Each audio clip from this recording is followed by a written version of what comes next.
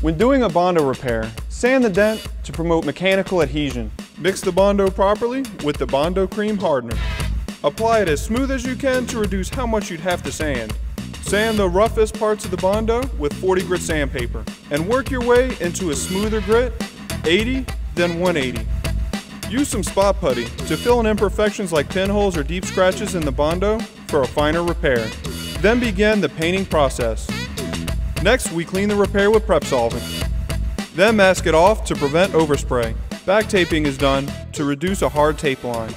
The next step is to prime the repair with a gray primer. Clean the surface with water and dry it. Apply 3 to 4 coats of the base coat, letting it dry for 5 to 10 minutes between each coat. If you see some dust settle, you can gently use a tack rag to remove the dust.